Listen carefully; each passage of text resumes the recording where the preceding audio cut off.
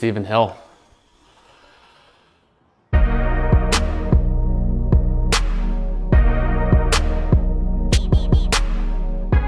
I'm someone that takes things to the extreme. I get a hold of something and I go all the way with it. That has shown me some really positive results in my life. It's how I got to where I am today, but it's also how I ended up addicted for over a decade.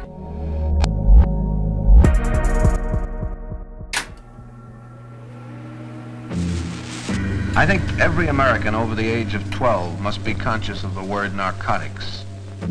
I think it's a scare word, as it should be.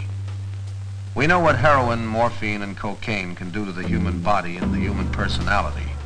People who are hooked on these drugs are seldom hooked in the dark. But there's a strong possibility that at this moment in your medicine cabinet you have a drug that can hook you just as completely, injure you just as terribly as heroin or morphine. Thank you.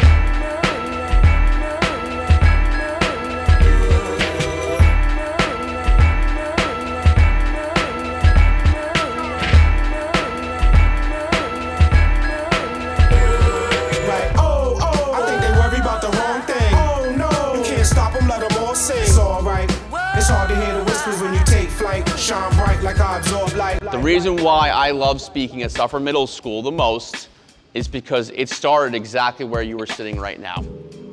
When I was in eighth grade here at Suffern Middle School, I made the junior varsity lacrosse team. I was a middle school student playing a high school sport. So at the end of the day, I, I'm getting bused over to the high school and I'm practicing with freshmen, sophomores, even a few juniors, and I heard a lot of them talking about drinking, about smoking, going to parties. I was curious. Now, I didn't use anything when I was in middle school, but as soon as I got into high school, that would change. I just thought to myself, this just must be the way things go in high school. I'll drink and smoke a little bit on the weekends. I'll still do well in school. I'll play sports. I'll graduate, and then I'll go off to college. That night, I had met a girl who was a senior, and she had dated one of my older friends. And a few weeks later, that same girl came into our school the morning of our pep rally. So these three girls are they're drinking all morning throughout the pep rally, which ended just before lunchtime. They get in the convertible, they pull out, they're all drunk, they're going down the road, lose control of it. It flipped over, landed on that one girl, and she was killed. And I do remember very well what it was like that next day in Suffern High School. The hallways were just completely silent, and if it wasn't silence, it was just people crying. I don't bring up this story in a way to try and scare people. I bring up this story to remind you that you do not have to be addicted to drugs and alcohol for bad things to happen. This girl did not have a major problem with drugs or alcohol. She was your average student athlete, made one bad choice, and lost her life because of it. So I first started using simply because I was peer pressured, I thought it was cool, I wanted to fit in, all those reasons. It was actually kind of like a rite of passage where as much as sports was a positive outlet for me, it was also a negative one. It's where I was introduced to everything. I was introduced to drugs and alcohol, it's where I went to these parties. And so I started doing it just because I thought it was part of a normal high school experience. But I would draw all these lines. I would say I'm gonna try and control my use. I need to do a better job of not using during the week or trying not to get caught. And the biggest mistake that I made is I underestimated the power of drugs and alcohol. I thought I can control my use. Turns out I could not. Drugs and alcohol controlled me. For the past six, this is going into the seventh school year of me doing this officially. I've been going around to middle schools, high schools, colleges. If I was to overdose and die, at the height of my addiction, right when I was 24 years old. Yes, it would be tragic, but would it be a shock to, to anyone? I, I don't think it would be. But when a kid goes on Snapchat and buys fentanyl off the dark web or something like that, and it comes and he just thinks it's a pill, he has no history of drug use, takes one pill and dies. That's different. You know, kids are curious. People have talked about experimental phases, and one message you're gonna hear tonight is, is that phase is gone.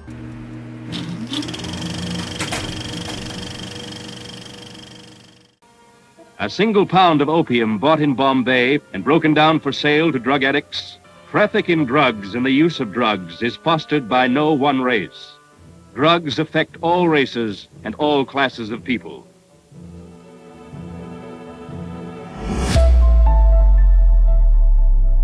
I mean, every situation is a little bit different, but one thing about addiction is that it does really affect all different walks of life, and the numbers keep getting worse.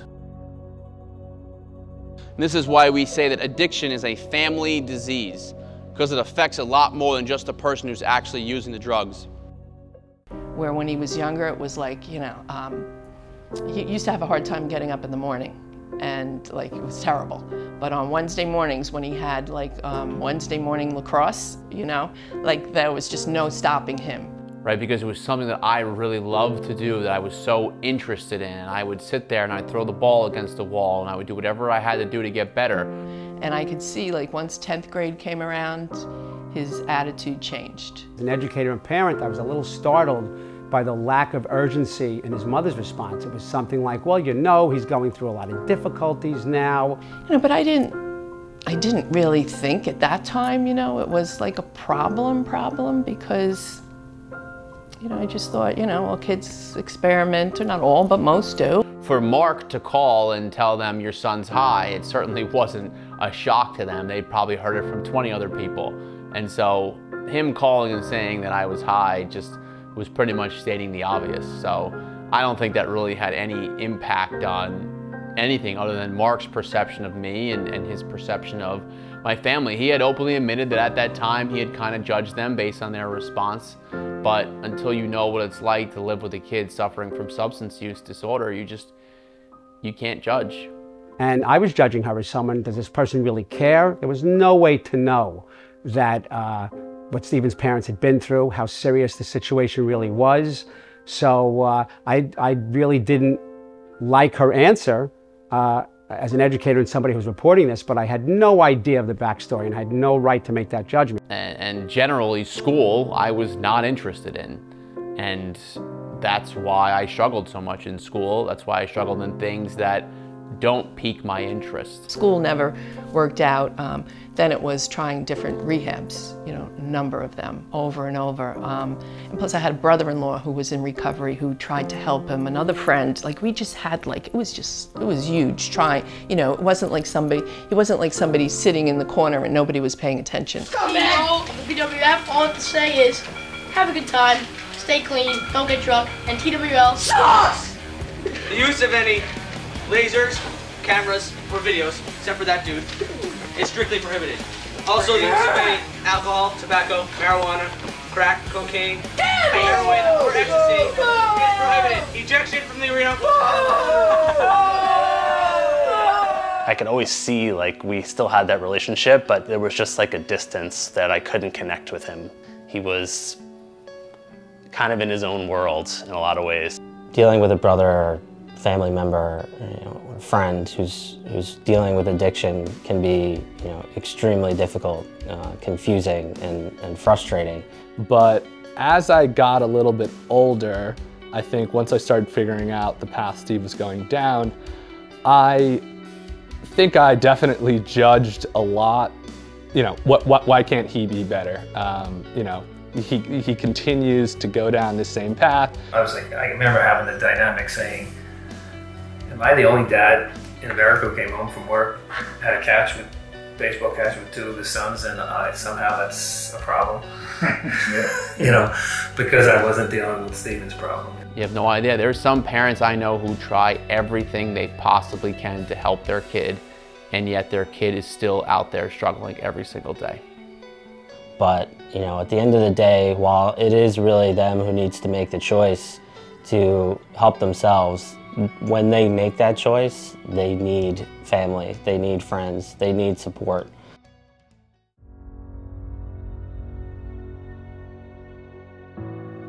So tonight I'm going to share my story about my personal struggles with substance use and journey to recovery. And even more so this year, I'm getting asked to speak at special events like this one with Washington Goes Purple.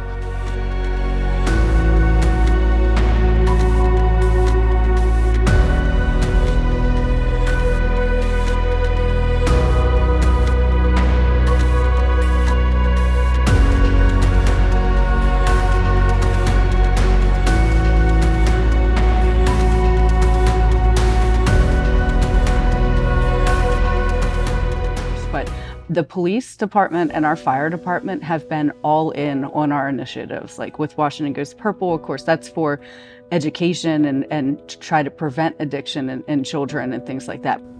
We've got to move past reacting and we got to move towards prevention and being progressively proactive in doing so. And that is a culture change because those of us that have never used, that are not addicted, can't truly understand the impact of how do you stop that from happening because they've never experienced it.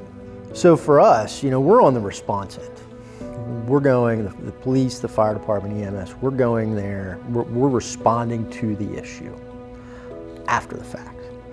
Uh, really what we need is proactive action.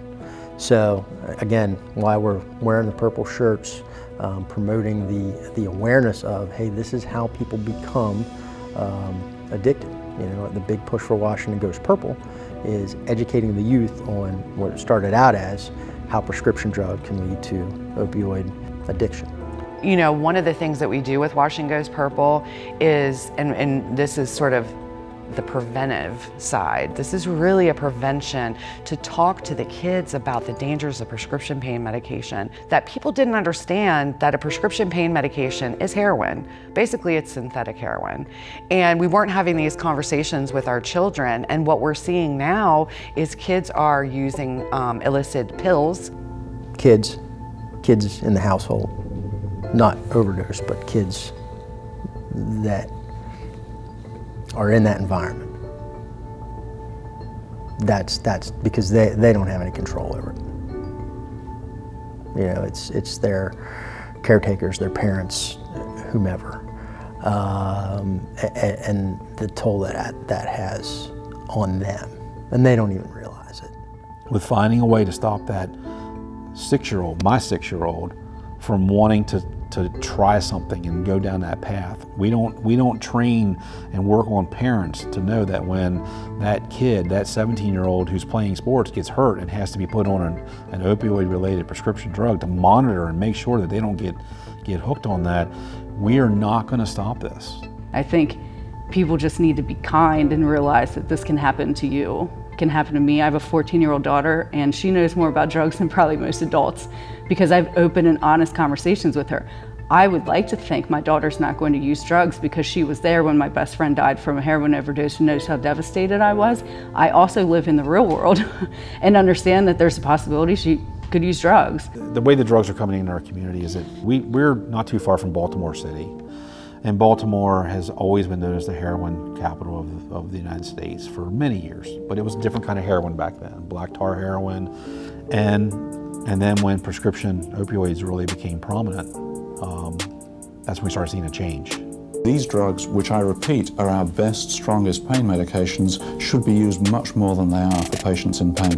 But it was first falsely marketed as non-addictive. You had these pharmaceutical companies like Purdue Pharma, the Sackler family, uh, making millions and billions of dollars off of this stuff. And during this time is when heroin made a big comeback. Today, the city became the latest in a growing list of 200 communities nationwide hoping to make pharmaceutical companies pay for the opioid crisis that kills more than 100 people every day. We use the tragedy of an overdose, of an overdose death, as an opportunity. That opportunity to see where we can backtrack how this person got the heroin, where that drug trade started, so we can go after that distribution point and not the user to user kind of way. Fentanyl has become so much more prevalent. So it changed the landscape of what's going on today. And that's the those two things together now more just strictly fentanyl is the reason why you're seeing the overdose numbers keep going up and up and up. As a the primary first responder, we're all medically trained as EMTs. So when there's uh, an overdose um, incident, um, so we can get there and provide uh, all the life-saving treatments that they need, including Narcan administration, um, to, to, bring them out of that overdose, prevent them from um, respiratory arrest or cardiac arrest. Can you hear me? Hey, buddy, what? Hey, can you hear me? Oh, good. Can you hear me? You're all right. Yeah. You're all right. Lay down. Lay down Even just health challenges in general. Um, we've had situations where someone wants to go to a rehab center, but they have open abscess on their arms from using. Well, you have to treat the person's medical issues before they can even consider getting themselves sober. The biggest impact we got here and, and where, where we're at right now is that there's a lack of resources. There's a lack of those places that we can get them into. When you can't get the money to buy the pills or you can't get the pills anymore because they can't get them prescribed to you and you can't steal enough of them for somebody else, you gotta you gotta get to that that feeling you need to, to take care of. As an addict, you're gonna go to heroin. And now that heroin could be done in powder form and snorted, and you didn't have to inject because most everybody that I've ever met that's recovering and has been recovering, everyone to a T said they would never, never use a needle, never inject themselves and the ones in recent history that could use the higher potency heroin that's now around compared to what it was 20 years ago. When we look at the opioid crisis, I think everybody's been hit hard.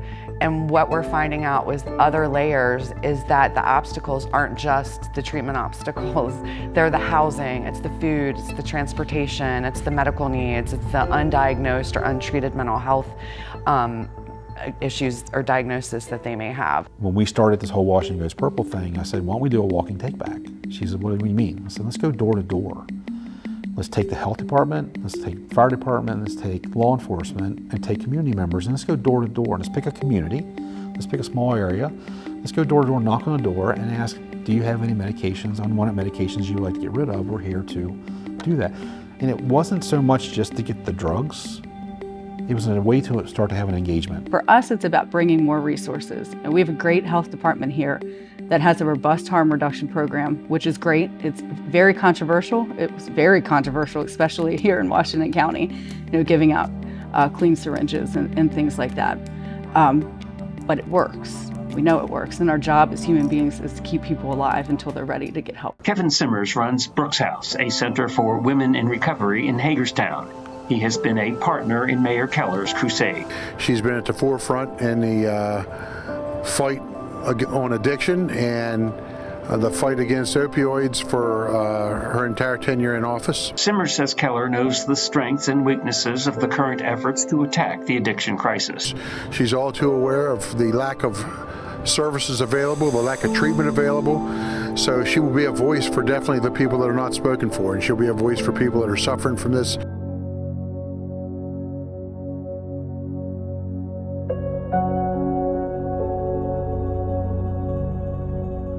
As far as individuals coming to Brooks House, it's very diverse.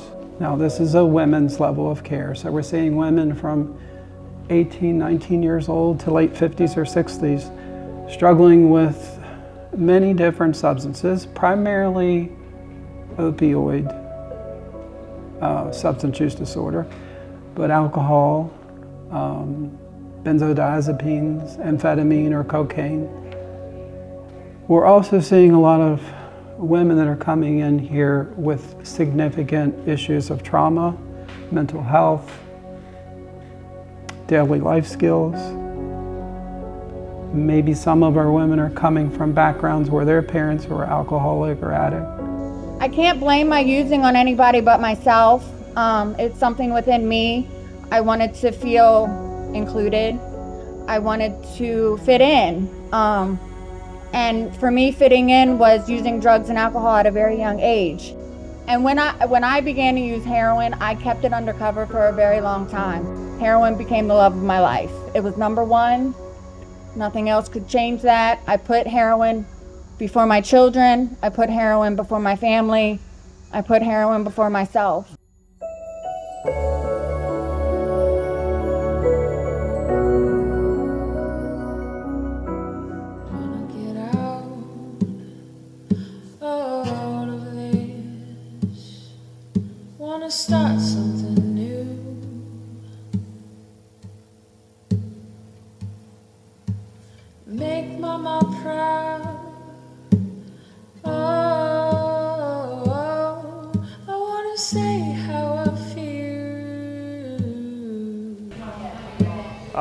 I'm Jason Marin. I'm a person in long-term recovery. Uh, means I haven't picked up a drug or had a drink since January 8, 2019. You know, I, I just want to be an advocate and, and be a voice for the people that's still sick and suffering because I was there at one time.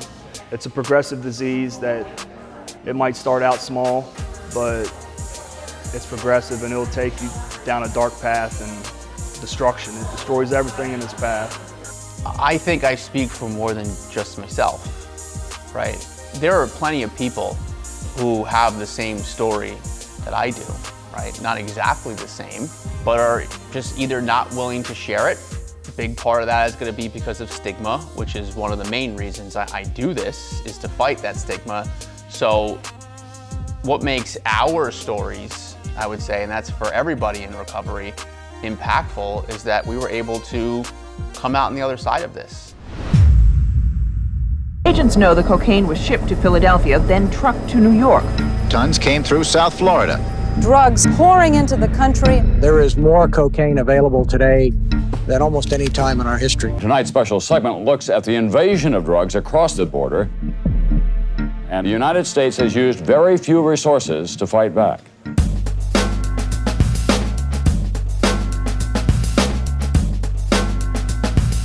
Drugs take away the dream from every child's heart and replace it with a nightmare. Nancy has been intensely involved in the effort to fight drug abuse. Not long ago, I was asked by a group of children what to do if they were offered drugs. And I answered, just say no. No, no, no, no, no. Chapter one, wine dance, Long Island, Island, Island, Island.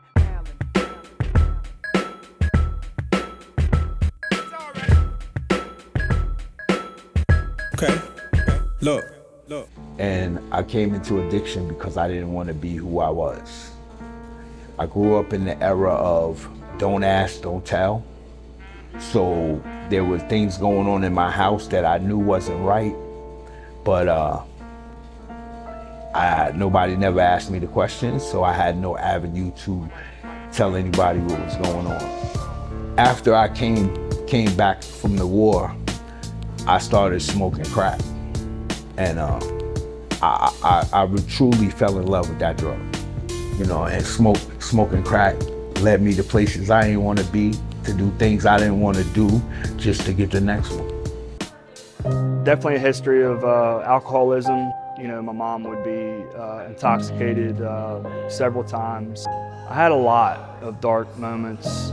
I had suicidal ideation on January 7, 2019. I wrote a three-page letter to my wife.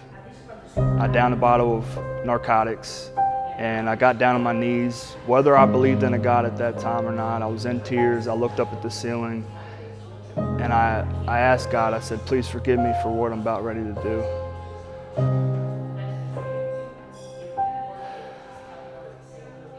Shortly after that, I got a text message from my daughter saying she had gallbladder pain. I end up calling her, and that's what that text message saved my life. In recent years, there has been a shocking increase in drug addiction among young people, often in their teens, who take up the habit without the slightest understanding of the living nightmare they are so unthinkingly walking into.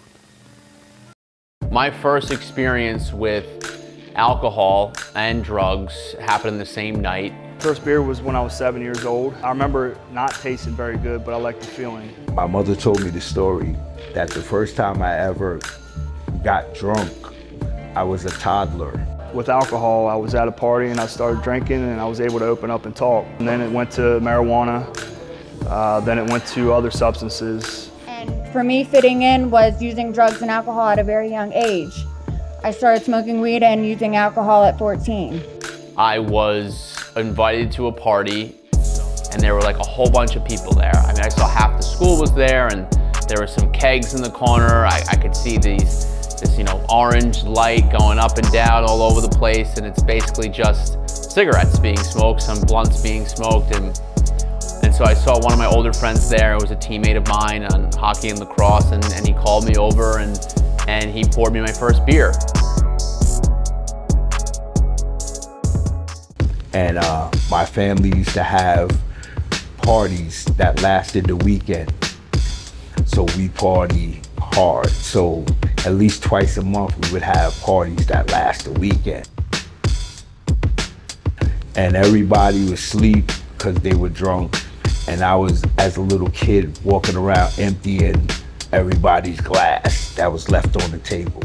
And I smoked my first cigarette. I had a few beers that night.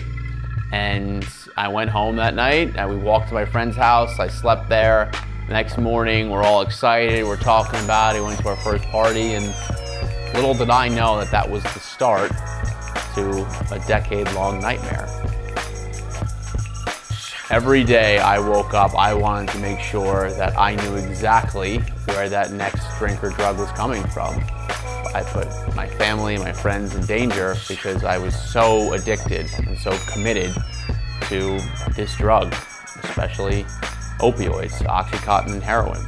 To me, I've learned over the years there hasn't there isn't a big difference between addiction and commitment, right? You're you're committed to something and I've been committed to becoming a speaker. I've been committed to going back to school, becoming a lawyer. I've been committed to being a better person, a friend, a father, a husband.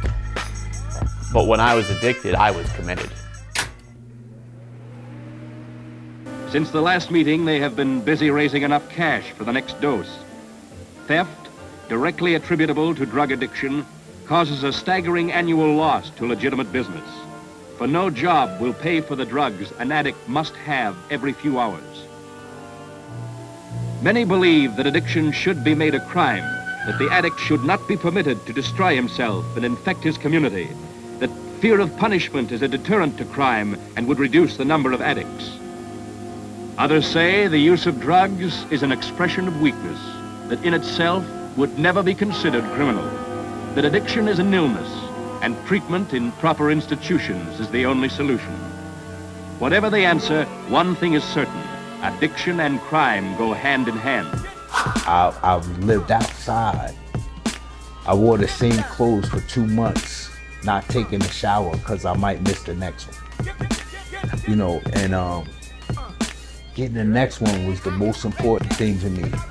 Like, I, I, I became unemployed because I, I thought that going to work for eight hours to get a check on Friday that was going to get smoked up on Friday night and I wasn't going to be able to go to work on Saturday anyway was a waste of time. If I stayed in the red zone, I could get high all day, every day. And that was the kind of twisted thinking that I had when I was used. I wore the same clothes for two months, so I rain, sleet, snow, hail, like the rain, like the mailman. My, you know, it, I was out there. So uh, I had this piece in between my fingers.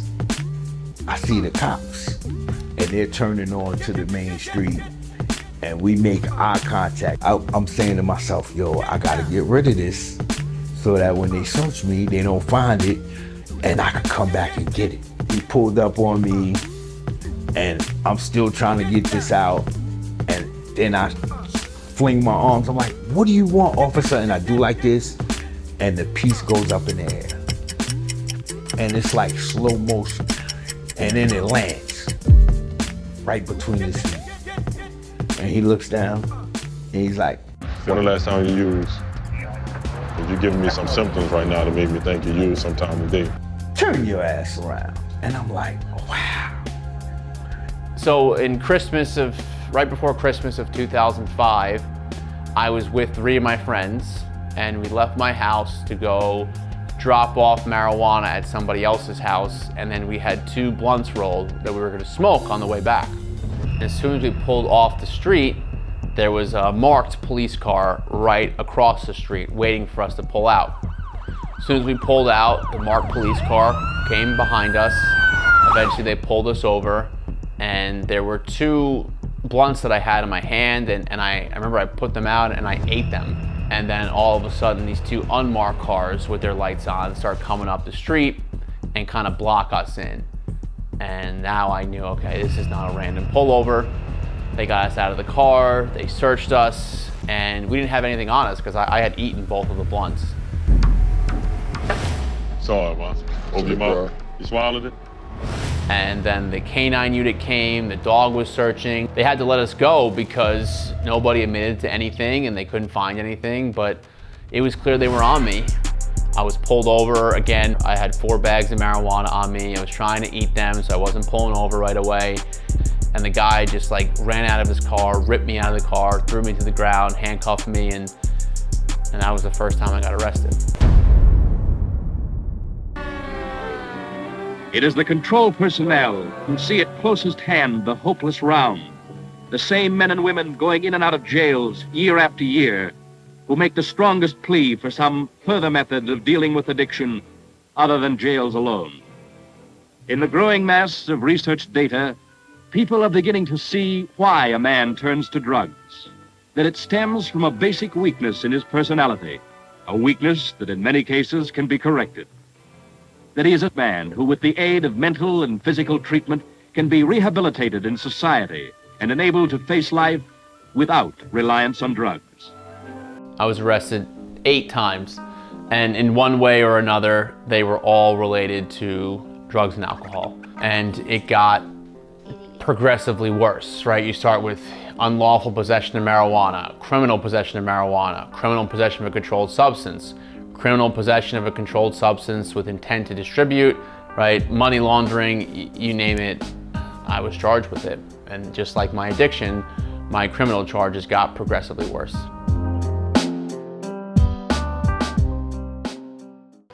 Throughout the next six or seven years, I made a lot of bad choices. When I was 19, I called out of work one day, got on the back of a four-wheeler with somebody I just should not have been in the back of a four-wheeler with. We were under the influence, we we're driving to the woods, we get to the bottom of this cliff. You go up and you go to the right, you go down nice and easy. As you go to the left, the cliff just drops off. My friend in the single, he goes to the right, goes down nice and easy. Me and my other friend, we went to the left. We were going full speed. By the time we got to the top of this cliff, it was too late. We went flying off, and I compound fractured my right femur bone, which means my thigh bone was cracked in half and sticking out of my body. Call my drug dealer. I said to him, I really need some painkillers the doctor won't give me anymore. He wasn't going to have anything for a few days. So I've been misusing and abusing these pills for months, and all of a sudden one day I just stopped. It was around 24, 36 hours went by. I'm sitting there in the wheelchair next to my friend and I said to him, I don't know, man, I'm, I'm starting to feel sick. I feel like I have the flu or something. He looks at me and he shakes his head and he says, you don't have the flu, you're dope sick. Without the white powder too long, his whole body revolted in dreadful protest. Sweat poured from him. He got the shakes. He had cold chills. His nose ran and his eyes ran. I said, dope sick, what does that even mean? He says, you're physically addicted to opioids and because you stopped using, your body's going through withdrawals. But check this. I know a guy, I'll go on the street, I'll buy this pill Oxycontin, I'll bring it back, I'll break it up, you'll snort it, and that sick feeling would go away almost instantly. I gave him some money, he went in the street, he bought me this pill Oxycontin, he brought it back, he broke it up, he said snort it, I did it. And that sick feeling was gone almost instantly. And that was the first time I realized I was physically addicted to opioids and drugs like that will take you down very, very quickly. One of the first things I experienced where I, I really knew how serious this was, I ran out of Oxycontin and I couldn't find anything. And so I had a friend of mine who was selling marijuana for me. And I told him, I asked him, you know, do you have any Oxy? He said, no, I, I, I can't find that right now. But if you want, I can get you heroin. And I was like, heroin? Like, who does that? Like, he's like, nah, man, it's, it's, it's not what it sounds like. He's like, it's basically the same thing as these painkillers you're taking. It's just, it's much cheaper and we can get it 24 seven. And I'm like, all right, let's do it. And so we're driving, we're driving down to Paterson and he tells me to, I never forget it, he says, make a right at the third light of fright.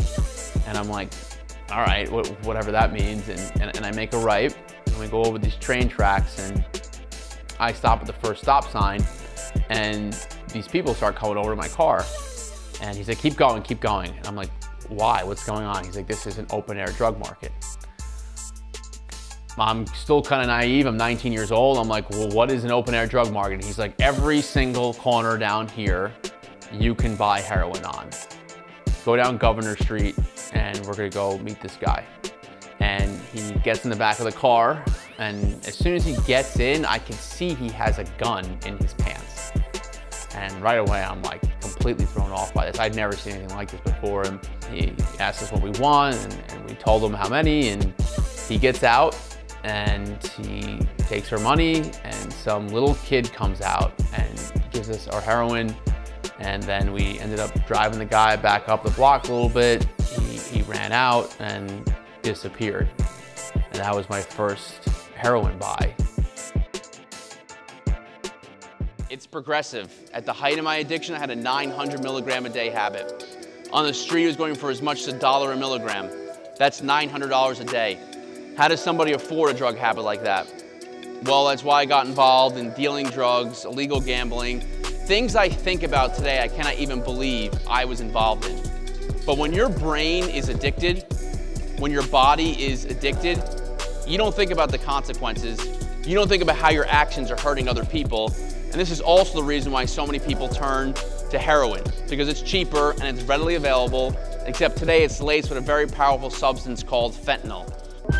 911, what do you need, please? Fire or medical? I have What? three people that are apparently they seem to be passed out drunk, not waking up in my parking lot. Like two of them are on the ground. 11:30 on a Saturday night. Deputies are called to help two men and a woman, all unresponsive. Now the deputies have custody of this pickup. They have to determine what caused all this. In reality, the drugs the trio were taking here that night were laced with fentanyl, a synthetic opioid that drug dealers use to make their drug supply last longer and more profitable. Drug cartels are now pressing their own pills. People think they're buying one thing on the street. It turns out to be this powerful substance called fentanyl. And this is the reason why people are overdosing and dying at such an alarming rate. It is truly the most dangerous time in history to be using any substance because fentanyl is being found in everything. My mom sat me down, my dad was standing behind her, and my mom said to me, You need to leave our house today, right now. Until you are ready to go away and get long term help, do not call us. Do not call anybody in this family. Leave today. Goodbye. Growing up when I was a kid, I had this friend and we were told by our parents to never get in the car with his father. When we were little kids, we didn't know why, but as we got older, we found out he was addicted to crack cocaine. He found out where I lived, knew I had drugs and money in my home, got my own place in Mahwah, New Jersey, and the wrong people found out that I had drugs and money in my home. And they came there. One guy had a knife, the other one had a bat. They had duct tape and rope. And their plan was to break into my apartment, steal my drugs and my money. If they couldn't find it, wait for me to get home, beat me, tie me up, and make me tell them where it is. I was very lucky I wasn't home that night. They broke my back window trying to break in. My neighbor heard it. She called 911. Police got there very quickly and caught them. But it also gave the police what's called exigent circumstances, which means they can go inside my apartment and make sure nobody's hurt. Now they're supposed to just go in there and search for bodies to make sure nobody's hurt, but they used the opportunity to search and they found all my drugs and all my money. And I think they found, I think it was around 850 uh, 30 milligram oxycodone tablets. They found about 35,000 in cash. They found currency counting machines, scales, baggies, and now I'm being charged at the felony level.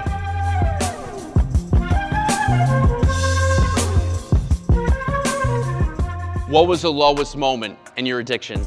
And for me, it was being on felony probation in New Jersey, staying at my parents' house here in Suffern. We see cop cars on every corner, like, you know, I'm like, that's weird, you know? So I called up Stephen right away. I said, Steve, there's cop cars on the corners. Like, is there any reason that there should be cop cars? Like, is you think, are they here for you? Just sitting there with my grandmother when all of a sudden the police kick in the door and arrest me again on more felony drug charges. You know, they searched my whole house and, you know, they took him away in a cop car. Handcuffed me, walked me out in front of all the neighbors. And the craziest part about that day for me was that I didn't even really care. I didn't care. I was so broken and lost at that point. I had pretty much accepted my fate as prison and eventually death. You'd think that I'm used to this because I've heard him speak before and and I lived it. But every time he speaks, I get emotional and and I even get triggered. I remember speaking to the lieutenant outside and, um, you know, just, and he was like, this is a good thing. And he said, it's a good thing because now, now maybe he'll get the help and accept the help that he needs. But this was three weeks before my older brother's wedding. It was supposed to be a really happy time for my family, and here I am again, just messing it up for everyone. You know, so to have to explain that to everybody would have been just a nightmare. Judge, he's a good boy. I understand. And we worked it out with his lawyer, and he was able to get out for that one day and then go back in the next day. So I would say that was the darkest moment, but then it turned it out, turned around to be probably the best thing that ever happened. I got bailed out of jail to make it to my brother's wedding on September 28, 2012. So when they took me to the precinct and everything, you know, the next day I go to court and I go in front of the judge. What do you have to say for yourself? I said, well, Your Honor, I'm an addict. If you give me a date to come back to court, cause I got a daughter, you know, and I want her to see me while I'm messed up. And then I come back and we'll go into rehab and then we'll be, you know, she can see the before and the after. He said, you know what? He said, you sound pretty eloquent. He said, you'll make a good lawyer when you get out. Bail $20,000. Bang the gavel. And I started like flipping out. I'm like, $20,000? That's ransom. That ain't a bail. That's, that's ransom. I don't got no money. I'm homeless. Da da da da.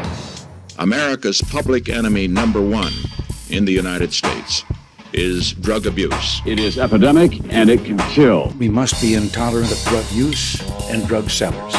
The crack problem has become a crack crisis and it's spreading nationwide. We must be intolerant of drugs not because we want to punish drug users, but because we care about them and want to help. Meanwhile, in another part of the world, the United States was funding an illegal war in Nicaragua, and drug smugglers were sending cocaine to the U.S. on U.S. planes. Somehow, the United States officials had no clue. We deal in too many externals, brother. Virtually every night, police pick up bodies. We deal in too many externals, brother. Deal in too many externals, brother. We deal in too many externals.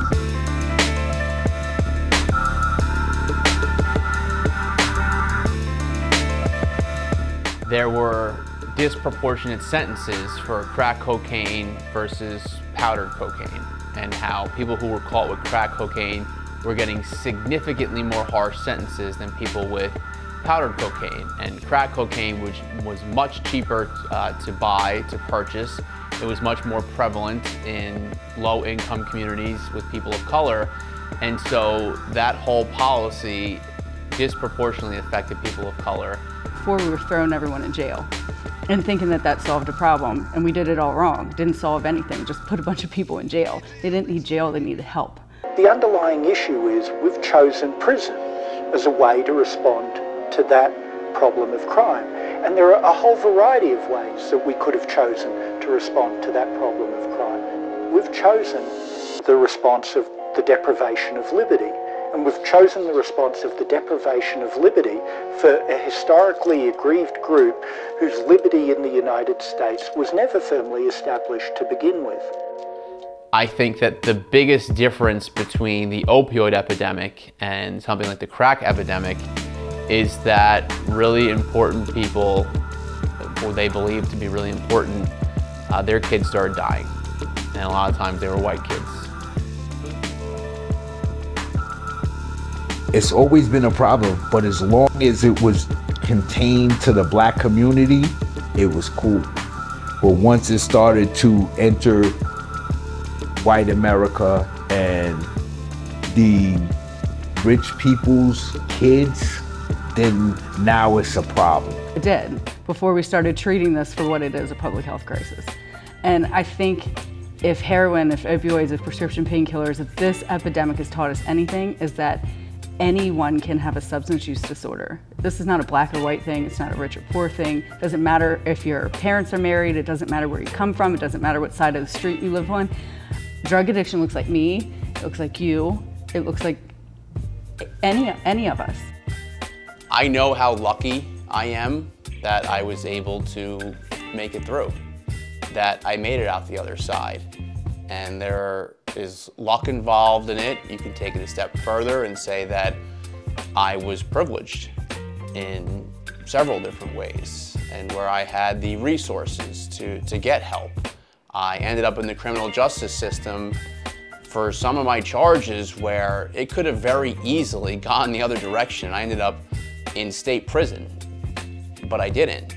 And I am aware that I was privileged in those situations, and I'm, I'm not saying that I didn't go through a, a ton of pain and, and, misery and suffering, and I, I destroyed my family for like a decade. I mean, it just, there's no other way of saying it, but at the same time, I do understand that I was given opportunities to heal that I should have been given, but that other people are not given. A lot of the administration wants to make it not, they say they want to make it nonpartisan, but are they really making it nonpartisan when they're uh, criticizing the other administration's actions to try to find a solution instead of humbling themselves and coming together and collaborate something together to find a solution? The cartels in Mexico have evolved quickly from drug cartels to transnational criminals to now terrorists like we've never seen ever. Al Qaeda, ISIS, Hezbollah, they're not killing this amount of Americans. While it is true that a great deal of fentanyl comes into the United States from Mexico, it is overwhelmingly U.S. citizens, not migrants, who are bringing it in. But Aaron Rothwell had a message for both sides. United we stand, divided we fall. United we stand, divided we fall. Uh, I don't want to sound cliche and say that we just need to talk to each other because that's what everyone says. We just need to have a conversation because we can talk all day long. If we're not hearing each other, it doesn't really matter. But I also need to try to understand you, your experiences, where you got to, to where you are today. What caused, what, what led you to where you are? So right now, the, the biggest, the major problem with the drug epidemic is fentanyl, for sure, 100%. Right now, drug overdose deaths are at an all-time high. The latest numbers I got was the CDC reported over 109,000 drug overdose deaths in the 12 month period ending in March 2022, which is the highest number ever recorded. I mean, it's, it's absolutely insane. And fentanyl is being found in basically everything today. It's being found in heroin, and cocaine, there's pressed pills, sometimes even gets into marijuana. It's just, it's truly the most dangerous time in history to be using any substance because of fentanyl.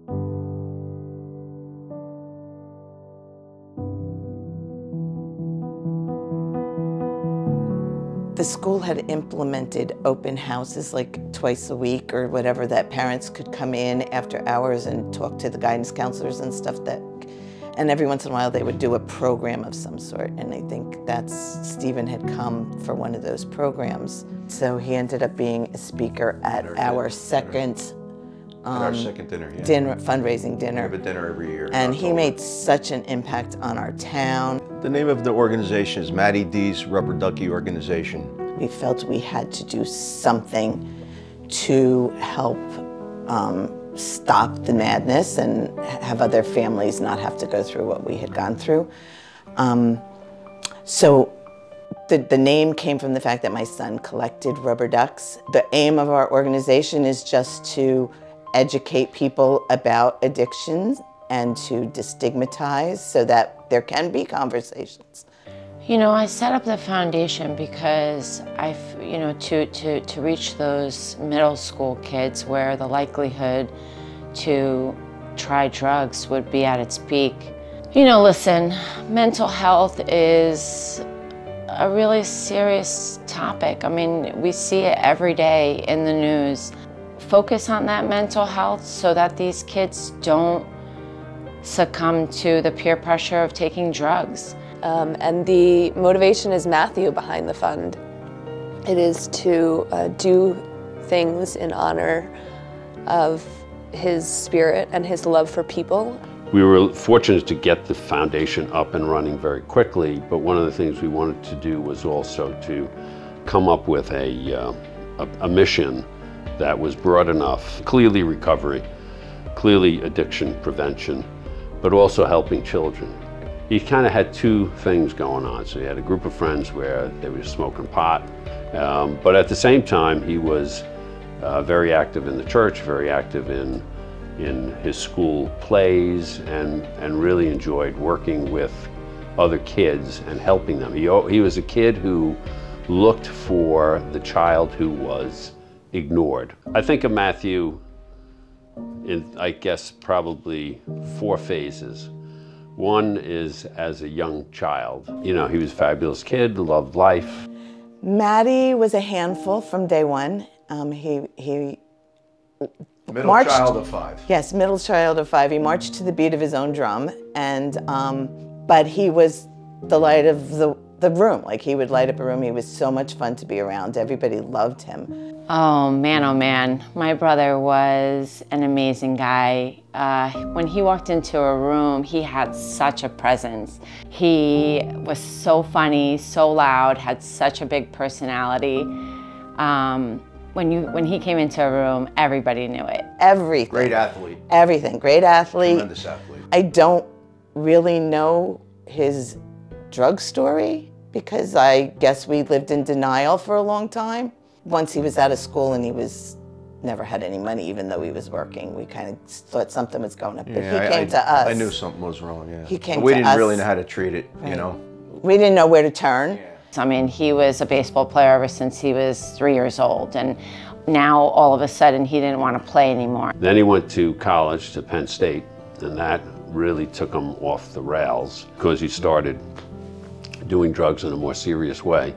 I was approaching it from a very logical standpoint, and that's because I hadn't educated myself on what addiction is. I was just focused on his behaviors and really frustrated with the lying and the dichotomy in his personalities um, and not being able to trust him.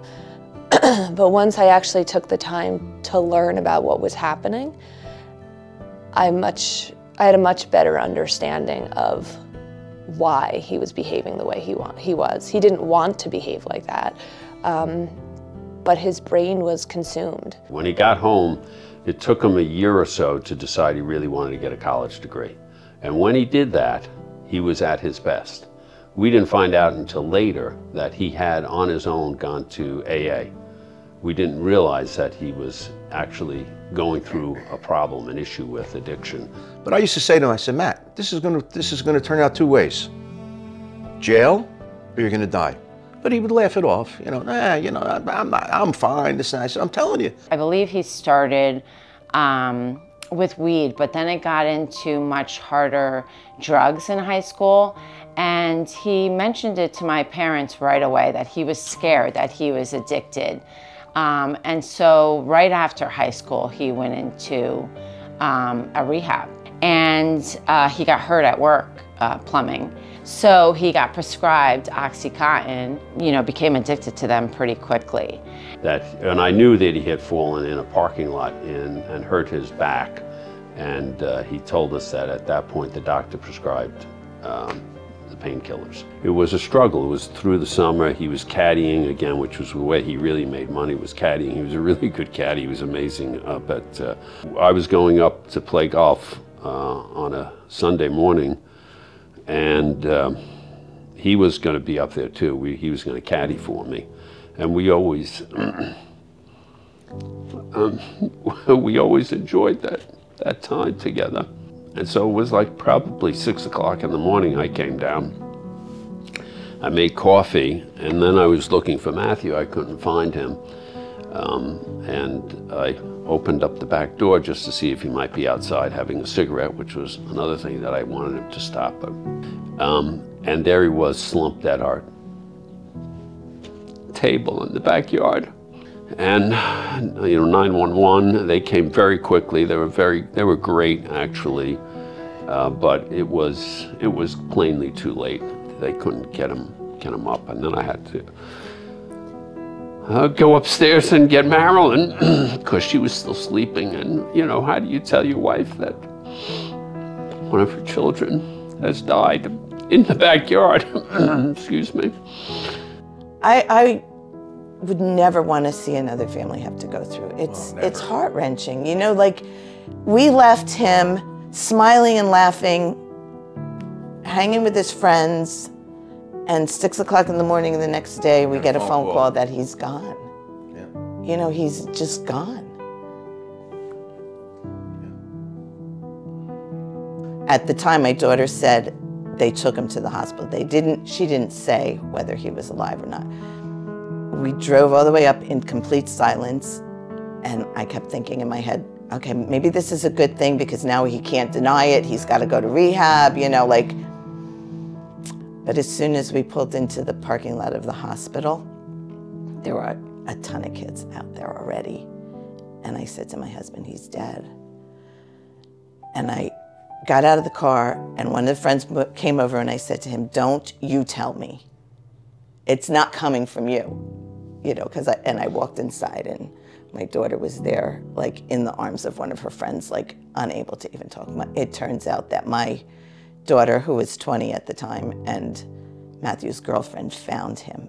They tried to do CPR and everything, and but he had been gone. He just, yeah, he just, he had aspirated and. And at that time, it had gone from, you know, the opioids to heroin because he couldn't, um, you know, obviously, like it was just too expensive of a habit. And he came back and he had done heroin again. And I said to him at that time, Albert, you had just gone away for three months. Like, what are you doing? And he said, I know, Michelle, I don't wish this feeling of wanting heroin on my worst enemy. I want to get better. Don't you think I want to be better? Got a phone call that very next morning um, on November 18th, 2010. And uh, they told me your son is gone. And I wish there could be something that I could have said to him or done for him. But the lines went around the funeral parlor. It was over a thousand people. It was it was heartwarming and there were a million little rubber ducks with little messages written all over them and and that was it.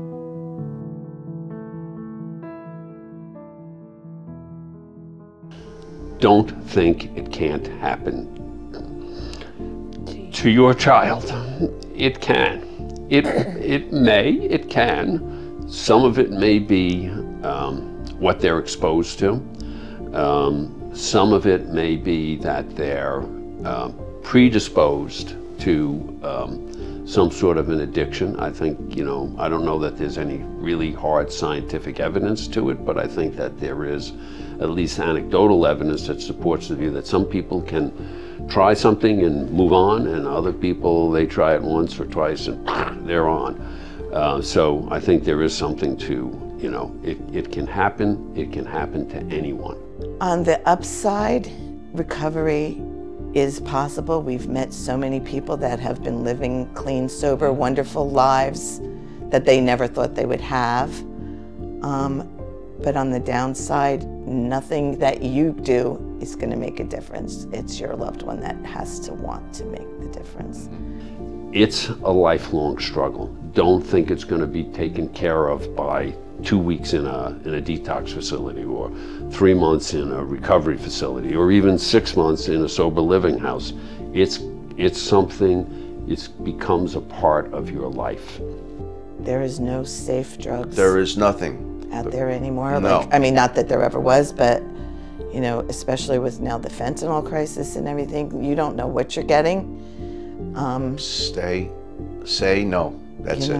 one, one, you. It sounds cliche, but one pill can kill. Yes. Uh, if you're a parent, get help. And by help, I mean find somebody who is a drug counselor who can talk to you, not to your son or your daughter, but can talk to you. Helping people who are addicted and helping parents because you need a roadmap. Take the time, as Kristen said, to learn about addiction because that's the only way that you finally understand that at this stage, regardless of whether there was a choice when the drug was first taken, but at this stage, when their addiction, when the addiction has taken hold, it's no longer a choice. It is a disease. Don't hide it. Hiding it, um, we, we, we didn't hide Matthew's addiction once we knew what it was about. We told people, we didn't, you know, put it in the newspaper, but if somebody asked, I would tell them. And, and uh, there are several reasons for that. Number one, the stigma shouldn't be a stigma. And the more you treat it like a stigma, the more it is a stigma. I think the capacity for empathy and support is vastly underestimated. Everybody we told were empathetic and supportive, not judgmental. And, and the judgment and the stigma, if you haven't had it, if you haven't experienced it in your family, you're not immune. Just know that. You're not immune. Instead of judging and stigmatizing the people that are still struggling out on the streets, maybe give them a helping hand. Maybe go up and ask them what their story is. I'm not saying go out and give them money because I don't want to be responsible for giving someone money to, and it ends up taking their life. But let them know that you care. Don't shame them. We're already, I was already shamed. I was in shame. I could t- tell you that this, like, my family loved me and, and my brothers loved me, but they loved me from a distance.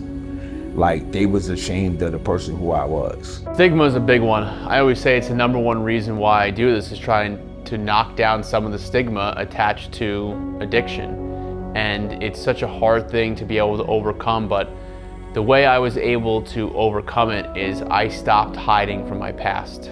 This is who I am, this is what happened, and this is who I am today. If you want to just judge me from my past and not look at me at the person who I am today, then you're not somebody who I want in my life.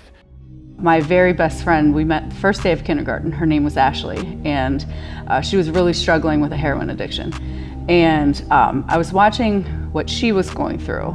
And, you know, she kept getting arrested for, for petty things. And meanwhile, I was watching the rest of my community really struggling, people I went to school with. Um, it's right, you know, 2015 when the opioid epidemic really started raging and right about the time fentanyl started being introduced into things. And I thought, how do we have a city that's struggling and we have government that's not really talking about it, not enacting legislation, not really doing a lot to help?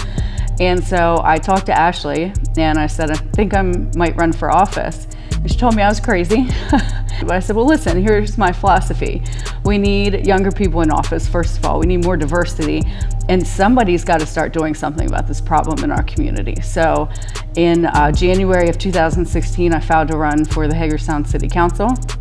And I went out and I talked about opioids. That's all I talked about. You know, I started meeting with the health department, reading books, trying to really become a student of that environment. So thankfully, in April of 2016, I won the primary. Then in June, unfortunately, Ashley had come to me. She'd just gotten out of jail.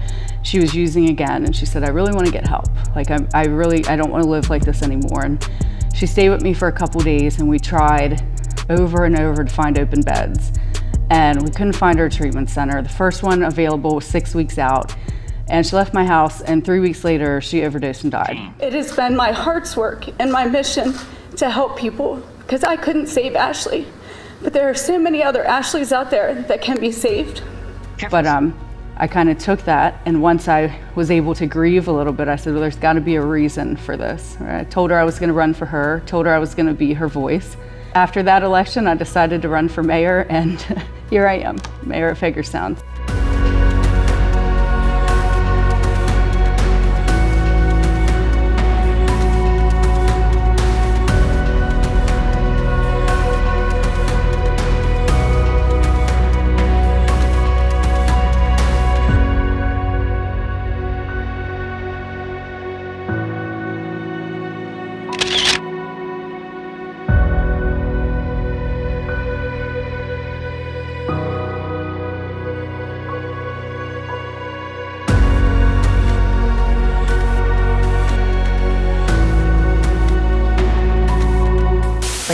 Federal bankruptcy judge gave conditional approval to a multi billion dollar plan to settle lawsuits against Purdue Pharma, the maker of OxyContin. That company is blamed for helping cause the opioid crisis.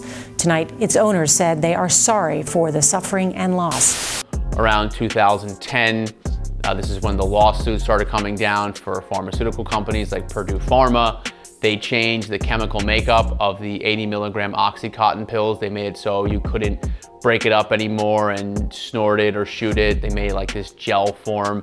And so then I switched to these uh, 30 milligram pills. Some people call them blues, Roxy's, Oxys, things like that. And I was using 900 milligrams a day. If you have a drug, let's just say you have a drug like heroin, right? What drug cartels will do is they will take a different substance like fentanyl and they will add it in there. The reason they'll do that is because it makes it more potent, it makes it stronger. And fentanyl is so cheap for them to make that they can use this across all these different drugs and it makes them more money. But for anyone who uses it, you're at a much higher risk of overdose and potentially death. So that's what's going on today. And it's not just about even just lacing it. They've decided now to create their own prescription pills. So people think that they're buying prescription pills on the street. You think you're taking one thing, it could very easily be fentanyl today. Fentanyl crisis continuing to devastate families across America. And now it could be showing up in your kid's Halloween candy bag. Health officials are raising concerns about brightly colored fentanyl pills that are being found in packaging that looks like candy. You do not have to have a fear of going out on Halloween and getting fentanyl in your candy. That's not happening, okay? There's a lot of misinformation out there that is definitely not happening. Rainbow fentanyl is a thing, which means they are just taking these pills and putting them in different colors, but you don't have to worry about it like coming, showing up in like your candy or something like that, right? You think about it logically, how do drug cartels, how do they make money by just poisoning little kids with candy? They, they don't make any money like that, right? So what they're doing is, yes, it is a marketing strategy where they're trying to attract younger people, but you would have to go and buy drugs in order to get it. You know, I like to do research, and there's uh, this thing called ISO. It's supposed to be 10 times more potent than fentanyl. That's uh, coming out of DC and it's hitting the tri-state area.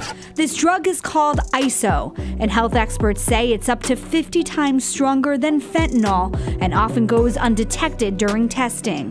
ISO is linked to a growing number of overdose deaths across the country. It's believed to be so strong that it can kill someone just by being accidentally inhaled or by coming in contact with skin.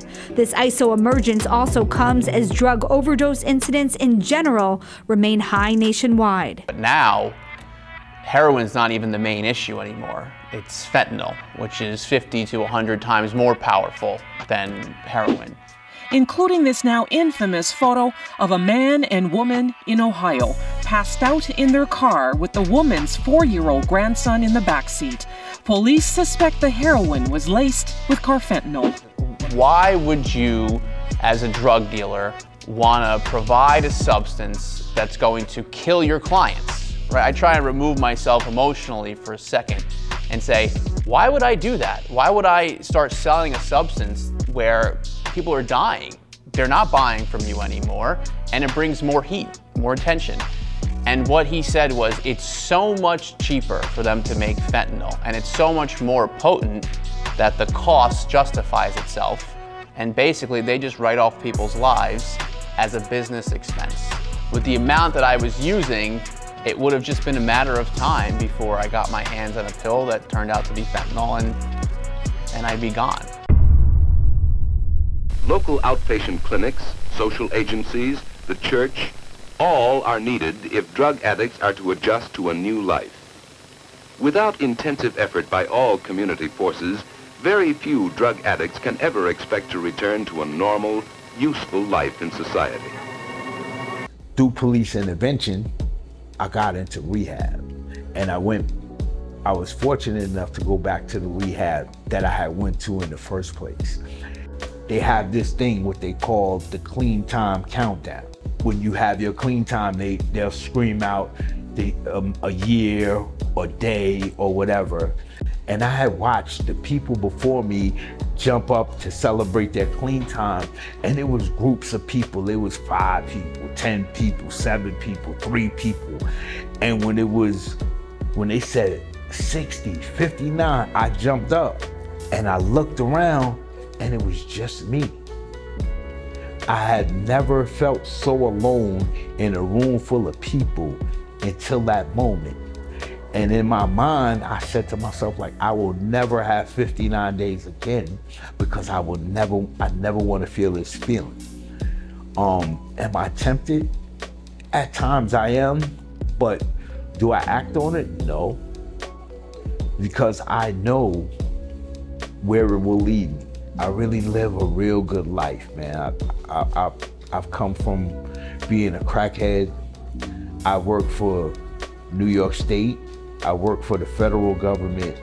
And now I have a career where I work for a, a Fortune 500 company. And like, who did, who? A crackhead like me. My life is far beyond my wildest dreams. I would have never imagined that I would be where I am today from where I came from. I love you very much. At first, I didn't understand what you were going through, but now I do. And you made it, and you have a great testimony that you can help someone, which you do help someone. Take everything. I don't want it. I don't need it, God. Because God is in your life, this is already your purpose. So the walk that you are walking, God is walking with you. And you will continue to do the work of God by healing and speaking to people that's been through what you've been through. Ever since I was little, young, young, young buck, He's been holding me down. And I saw everything he went through. saw everything he been through, you know what I'm saying? I saw the ups and the downs. And now you're back up. And that's what's up. And you always been here for me, and I'm here for you. And you never let us down. No matter what time of day we call you, you're always there. That's we it. love you. I have a job that I help people like myself. Two of them actually. Um, you know, I have a house. It's not the best house, but it's my house. I have a car. It's not the best car, but it's my car. Um, I am free. I don't have to use. I, I don't. I, I make a choice today to do the right thing, and I don't always know what the right thing is, but I do know what wrong is, and I know that if I don't do what's wrong, that I gotta end up doing something right. I once spoke at a high school in Long Island, and after I spoke, this teacher, it was actually a principal, came up to me and said, You found a way to take your mess and you turned it into a message. And that resonated with me so much because for the longest time, I viewed my addiction and everything I went through as strictly a negative experience. But whether it's addiction, whether it's mental health, whether it's both, whether it's trauma, or whatever struggle you have in your life, it's not about the struggle, it's how you can learn from it, you can grow from it, and, and use it to help other people. There are so many great opportunities out there for all of you. So many ways for you to live your life without the use of drugs and alcohol. I do it every single day. I actually found a way to take all my pain, all my struggle, and I figured out what I really want to do with my life. I found what my passion is, and it's doing this right here. He is the best father. Um, we have a six-month-old, and he's with her right now. And um, knowing what he was, or not what he was, what he was doing, you know, in high school to where he is now, it just makes me love him even more. For the longest time, I had convinced myself that recovery, a meaningful, a healthy life, was just not possible for someone like me. I convinced myself I was a failure and now was given this real second chance. We talked a little while, we joked around. Before I walked out, the program director gave me a big hug and he said to me, You might have one more high left in you, but I seriously doubt you have one more recovery. Take this gift that you've been given and go do something extraordinary. Go use it to help a lot of people. And I haven't looked back ever since. And now today, one day at a time, I started to build a life for myself that's worth staying sober for. That's a big part of my message too, is that I didn't get sober to be miserable. I, I had to believe that I could build this life for myself that's worth staying sober for, that's worth living. I thought to myself, I can either hide from this for the rest of my life, or I can just put it all out there. Put it all out there, you can't use it against me. And so I put it all out there, it's worked in my favor, and it's, I'm at peace. I'm free from it.